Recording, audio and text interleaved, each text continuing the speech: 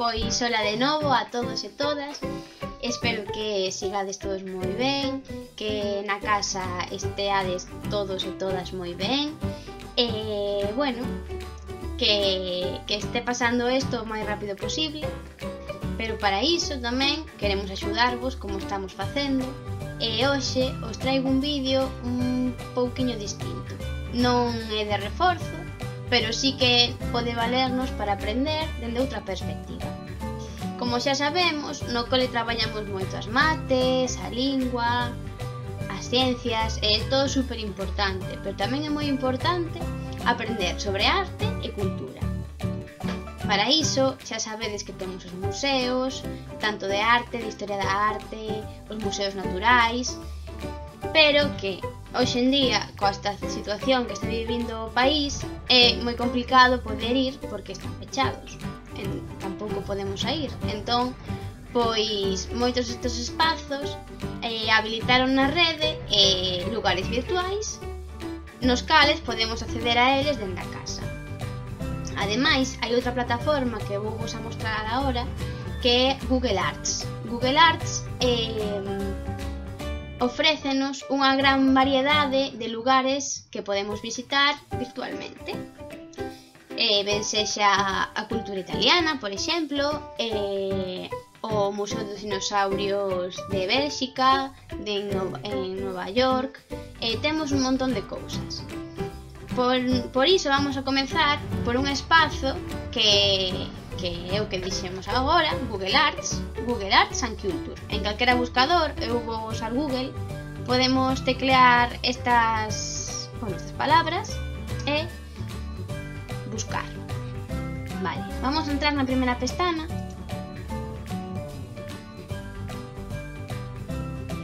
Vale, aquí saenos unha gran variedade de, de cousas, de sitios, nos cales podemos visitar, acceder, vale, dende, eh, mira, historia da moda, eh, cool museums que podes visitar online, vale.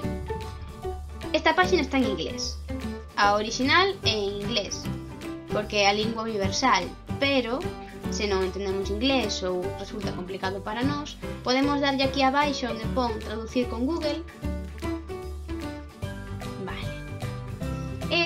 podemos buscar o que máis nos interese. Por exemplo, a mí interesa moito eh, a cultura italiana. Vale, e vemos que, bueno, que ofrecen os sitios máis relevantes que podemos visitar nes, nas diferentes cidades. Se lle damos a, a flecha que está aquí abaixo, podemos ver vale, diferentes lugares. A min Pompeya, por exemplo, é un sitio que me encantaría visitar se veamos movendo co rato, podemos ver como se estivéramos ali mesmo as ruínas de Pompeia. Vedes? Pois é unha ferramenta que, dende o meu punto de vista, é moi interesante. Vamos a volver á página principal, porque vos quero ensinar outra pestana, que é a de explorar. E aquí tamén, un pouco filtrando os nosos gustos, podemos topar diferentes cousas exemplo, vídeos en 360 que é moi interesante ou Street View que é como se estivésemos presencialmente nos diferentes lugares. Vale. Agora, unha vez coñezamos esta ferramenta, a exploremos cada un o seu gusto, podemos investigar o que máis nos interese. Vou a presentarvos mmm, dous museos. Moitos dos museos que existen no mundo estes días están accedendo visitas virtuais dende a rede para un pouco manternos ocupados e poder aprender diferentes cousas a través de internet. E neste caso vamos a ver dous para ver un pouco como funciona. Vamos a empezar co Museo de, do Prado de Madrid, ubicado en Madrid. E, bueno, Museo do Prado. Ajá. E vamos a poñer ante todo visita virtual, porque se poñemos visita virtual, levanos directamente a onde nos interesa. Vamos a clicar na primeira pestaña. Vale. Aquí, como vemos, temos as diferentes obras artísticas que podemos topar no mesmo museo. Se clicamos nelas, unha delas, por exemplo, esta, a podemos ver, aumentar, Eh, vamos a darle esta flecha a ver que ocorre. Aquí temos toda a información que nos pode ofrecer. Además, eh, vamos a volver atrás. Tenemos aquí a estas tres líneas contanos un pouco a historia do museo, a arquitectura que podemos encontrar dentro, dentro de Estudios do Prado, a historia da arquitectura e tamén eh, resulta moi interesante para ver dentro da casa esta pestaña que temos aquí que pon preto. Vamos a ver que nos ofrece.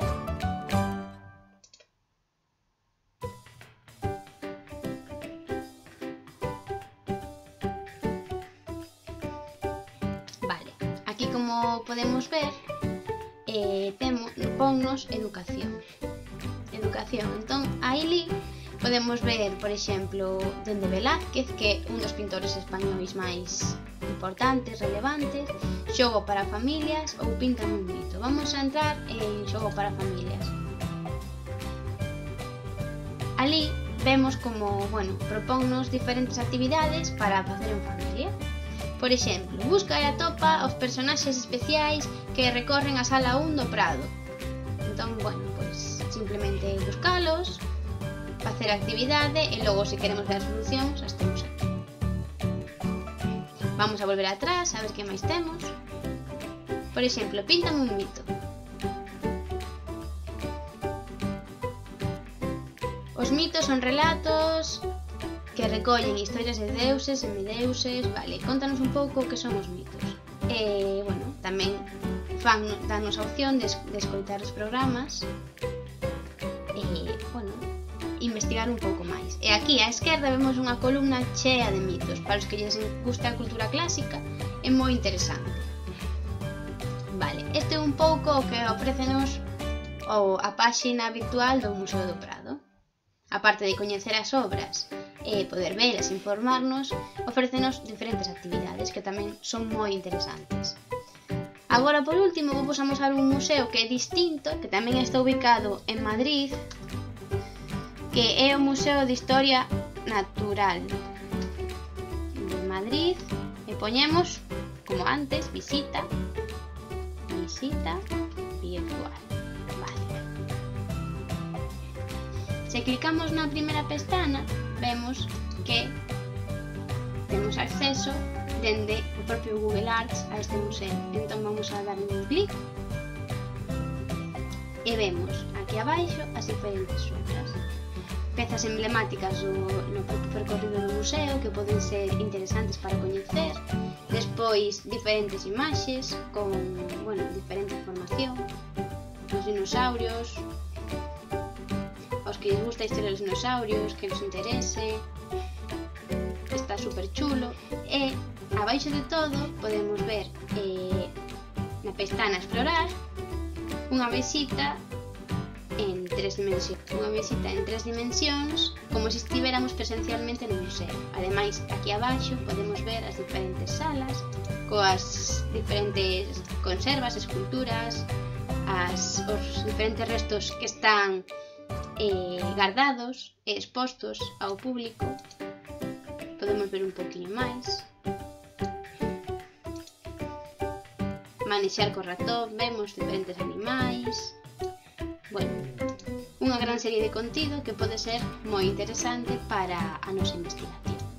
Bueno, chicos, pois isto é todo. E tamén quero dicirvos que se vos interesa outro tipo de museo que este non, noutro sitio que sexa fora de España, tamén podedes acceder a un millón de posibilidades eh, tanto dentro de Europa como en América, e os Estados Unidos e hai unha cantidade de museos que abren as súas portas virtu virtualmente. Entón, se tedes calquera dúda podedes escribirnos e se vos interesa algunha cousa específica e non topades, tamén podemos axudarvos.